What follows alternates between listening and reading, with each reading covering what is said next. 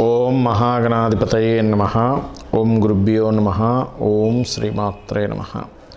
పరమేశ్వర స్వరూపమైనటువంటి జ్యోతిష వాస్తు మరి ఇతర అనేకమైనటువంటి శాస్త్రములను మనకు అందించినటువంటి మహర్షులకి నమస్కారం. హయగ్రీవ హయగ్రీవ హయగ్రీవేతియో వదేత్. తస్స నిస్సరతే వాణి జన్హుకన్యా ప్రవాహవత్.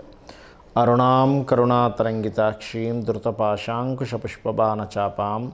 అనిమాదిభిరావృతాం మయూకై అహమిత్యేవ విభావయే భవానీం శ్రీమాత్రే నమ. ప్రేక్షకులకి ఆ లలితాంబిక అమ్మవారి యొక్క అనుగ్రహం పరిపూర్ణంగా కలగాలని మనస్ఫూర్తిగా కోరుకుంటూ మనం ఈరోజు ఒక్కొక్క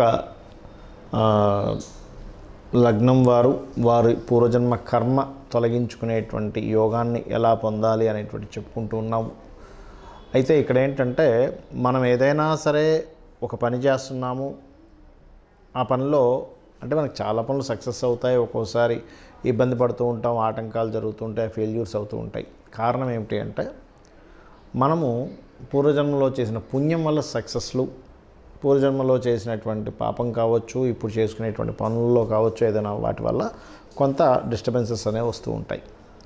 ఆ రకంగా ఒక్కొక్క లగ్నం వాళ్ళకి అసలు లగ్నం నుంచి ఏ గ్రహం మీకు పుణ్యాన్ని ఇస్తుంది ఏ గ్రహం దానం చేయడం ద్వారా అంటే ఏ గ్రహ సంబంధించిన దానం చేయడం ద్వారా పాపం అనేటువంటి తొలగి అనుకున్న పనులు అవుతాయి అనేటువంటి విషయాలు ఒక్కొక్క రాశి ద్వారా అంటే ఒక్కొక్క లగ్నం నుంచి మనం చెప్పుకుందాం. వృక్షిక లగ్నము లగ్నం తెలియని వారు రాశి నుంచి చూసుకోవచ్చు. మీ పూర్వజన్మ కర్మ దేంతో కనెక్ట్ అయి ఉంటుంది అంటే కుజుడు గనక మీ లగ్నాధిపతి కుజుడు కాబట్టి వన్ సిక్స్ లగ్న ఆధిపత్యం వస్తుంది కాబట్టి కాంపిటేటివ్ లక్షణాలు మీకు ఎక్కువగా ఉంటాయి. అంటే కాంపిటేటివ్గా ఉండే యోగం బలంగా ఉంటుంది. చూసుకున్నట్లయితే.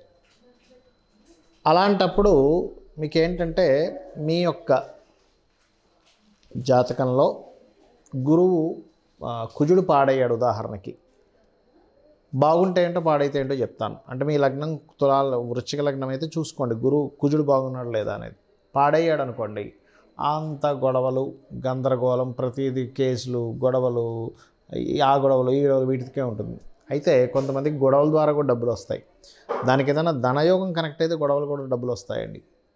అదే బాగున్నది అనుకోండి అప్పుడు ఇందాక మనం అనుకున్నట్టుగా ఈతను ఏ లాయరో అవ్వడం లేకపోతే గొడవలు తీర్చి సెటిల్మెంట్ చేయడం ద్వారా డబ్బులు రావడం లేకపోతే ఈయన గొడవపడి ఈయనైతే మనకి నిలబడతాడు గొడవపడైనా సరే సక్సెస్ తెస్తాడని చెప్పని ఇతని మీద హోప్ పెట్టుకొని ఉండడం ఇట్లాంటివన్నీ జరుగుతూ ఉంటాయి.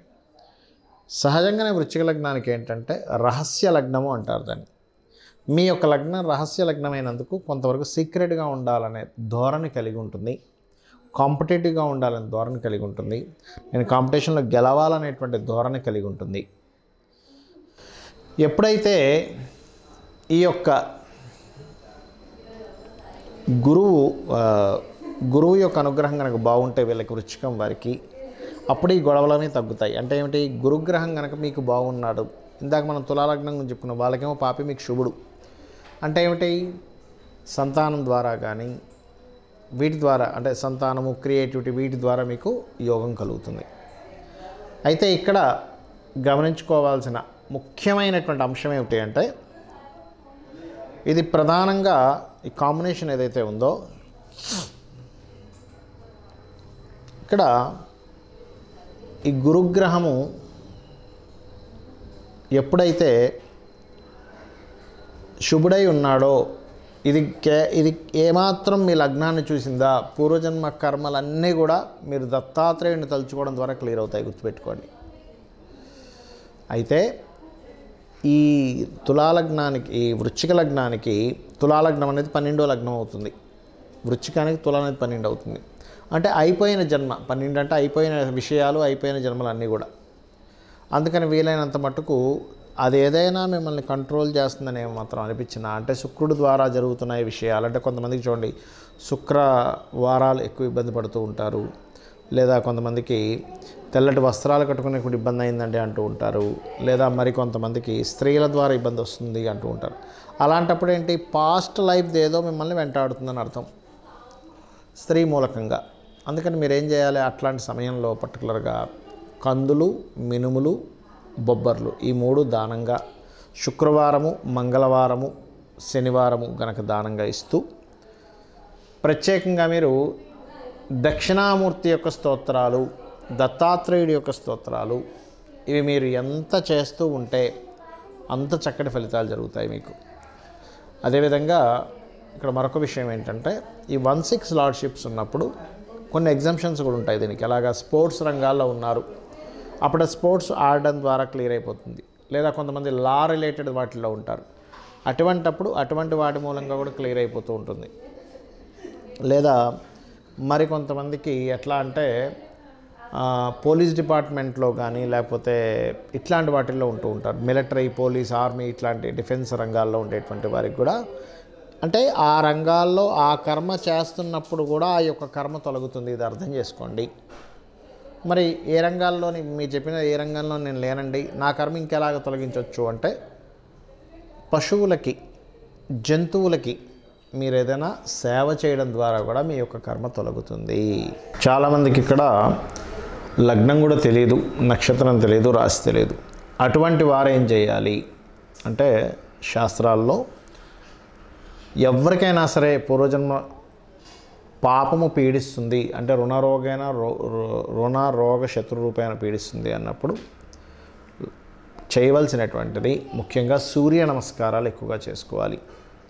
సూర్య భగవానుని యొక్క ఆరాధన ఎంత చేస్తే అంత చక్కటి ఫలితాలు ఉంటాయి గుర్తుపెట్టుకోండి. సూర్య ఆరాధన చేయాలి. ఎవరికైనా అంటే ఉదాహరణకి ఫలానా ప్రాబ్లం వల్ల నేను ఫేస్ చేస్తున్నానండి కానీ నాకు లగ్నము రాసి ఏమీ తెలియదు జీవుడుగా నేను ఎదగలేకపోతున్నాను అన్నప్పుడు రవి గురు గ్రహాల దగ్గర దీపారాధన చేయండి. లేదంటే నాకు పూర్వజన్మ పాపం ఏముందో నాకు అర్థం కావట్లేదు. కానీ ఫైనాన్షియల్గా ఇబ్బంది పడుతున్నాను అన్నప్పుడు మాత్రం మీరు చేయవలసింది శుక్ర బుధ గ్రహాల దగ్గర దీపారాధన చేసి ప్రదక్షిణాలు చేయండి. ప్రతి అంటే మీరు చేసే ప్రతి ప్రయత్నము సక్సెస్ అవ్వట్లేదు. చాలా ప్రాబ్లమాటిక్గా ఉంది అని అనుకున్నప్పుడు మాత్రం శుక్ర శని గ్రహాల దగ్గర దీపారాధన చేయండి. పూర్వజన్మ కర్మలో ఏంటో మరి నాకు అర్థం కావట్లేదు. నేను ఎప్పుడు ప్రాపర్టీ కొన్నా లేకపోతే ఎప్పుడు నేను ఏదైనా సరే తీసుకుందామని వాహనం కావచ్చు గృహం కావచ్చు తీసుకున్నా లేకపోతే తల్లి ద్వారా ఇబ్బంది పడుతున్నాను అనుకున్నా అంటే అట్లాంటిది ఏదైనా ఇబ్బంది ఎక్కువ వస్తున్నా కొంతమందికి ఉంటూ పితృశాపము మాతృశాపాలు కూడా వస్తూ ఉంటాయి. అన్నప్పుడు మీరు చేయవలసింది ఏమిటి అంటే పర్టికులర్గా కుజ గురు గ్రహాల దగ్గర దీపారాధన చేయండి. అంటే ఆ కర్మ ఆ రూపంలో తొలగుతుంది. అలాగే అంటే ఇవన్నీ నేను ఎందుకు చెప్తున్నానంటే ఎవరికి అంటే వాళ్ళకి తెలియదు వాళ్ళ యొక్క జన్మజాత చక్రం తెలియదు వాళ్ళ నక్షత్రం తెలియదు ఏమీ తెలియదు కానీ ఈ దోషం ఇబ్బంది పడుతున్న వాళ్ళకి. అంటే ఈ దోషం ద్వారా ఇబ్బంది పడుతున్నటువంటి వారు ఇది చేసుకోవాలని. అలాగే మరికొంతమందికి సంతానం ఉండదు కానీ వాళ్ళ జాతకాలు తెలియవు. అలాంటప్పుడు కందుణ్ణి సుబ్రహ్మణ్యేశ్వర స్వామిని కానీ లేదా దత్తాత్రేయుని ఆరాధిస్తూ కుజ గురుగ్రహాల దగ్గర దీపారాధన చేయండి. అప్పులు ఎక్కువగా ఉన్నాయి. లేదా అప్పులు లభించాలనుకుంటున్నాము. పూర్వజన్మ పాపం మీద అడ్డుపడుతుంది. అలాంటప్పుడు ఏంటంటే శని శుక్ర గ్రహాల దగ్గర దీపారాధన చేయండి. అలాగే వివాహం అవ్వట్లేదు. వాళ్ళు మీ సప్తమభావం పాడైపోయింది. కానీ జాతకం తెలియదు. అలాంటప్పుడు శనిబుధ గ్రహాల దగ్గర అంటే కర్మ వెళ్ళి ర- ఇంకొక అంటే ఎవరినైతే వివాహం చేసుకోవాలనుకుంటున్నామో లేకపోతే మీ ప్రయత్నం సక్సెస్ అయ్యేలా చేస్తుంది. శని బుధ గ్రహాల దగ్గర దీపారాధన చేసినట్లయితే. ఆకస్మికమైన ఇబ్బందులు ఎక్కువైపోతున్నాయండి నాకు లైఫ్లో. ప్రతిదీ కూడా ఫెయిల్ అంటే ప్రతిదీ ఆకస్మికంగా టర్న్ అయిపోతుంది నా లైఫ్ ఒక డిఫరెంట్ యాంగిల్లోకి అనుకున్నప్పుడు. మీరు చేయవలసింది కుజచంద్ర గ్రహాలకి లేదా చంద్రగురు గ్రహాలకి దీపారాధన చేయండి. అలాగే కొంతమందికి విదేశాలకు వెళ్ళాలనిపిస్తూ ఉంటుంది. అటువంటి వారు హనుమాన్ చాలీసా చేయండి లేదా హైయర్ ఎడ్యుకేషన్లో ఇబ్బంది వస్తుంది అన్నప్పుడు రవి కుజ గ్రహాల దగ్గర దీపారాధన చేయండి. అదేవిధంగా వృత్తిలో నేను సెటిల్ అవ్వలేకపోతున్నాను నా లైఫ్లో అసలు సెటిల్మెంటే లేకుండా పోయింది అన్నప్పుడు బుధ శుక్ర గ్రహాల దగ్గర మరియు కేతు గ్రహం దగ్గర దీపారాధన చేయండి. ఆ సెటిల్మెంట్లో విదేశాలకు సెటిల్ వెళ్ళి సెటిల్ అవ్వాలనుకునేటువంటి వారు హనుమాన్ చాలీసా చేస్తూ బుధ శుక్ర రాహుగ్రహం దగ్గర దీపారాధన చేయండి. అలాగే వ్యాపారాల్లో నేను రాణించలేకపోతున్నాను అని బాధపడుతున్నటువంటి వారు ధనానికి కారకుడైన శుక్రుడు వ్యాపారాలకు కారకుడైన బుధగ్రహం దగ్గర దీపారాధన చేసినట్లయితే మీరు వ్యాపారాల్లో రాణించగలుగుతారు. అదేవిధంగా విదేశాలకు వెళ్ళాలి లేదా ఇన్వెస్ట్మెంట్స్ చాలా చాలా చక్కగా రాణించాలి. విదేశాల కంటే కూడా ఇన్వెస్ట్మెంట్స్ బాగా రాణించాలి అనుకుంటే కనుక హనుమాన్ చాలీసా చేస్తూ అదేవిధంగా చంద్రకుజ గ్రహాల దగ్గర దీపారాధన చేయండి. ఇలా కనుక చేసినట్లయితే మీ జన్మలగ్నం తెలియపోయినా నక్షత్రం తెలియపోయినా రాశి తెలియకపోయినా ఖచ్చితంగా మీకు మీరు అనుకున్నది అనుకున్నట్టుగా సాధించగలుగుతారు.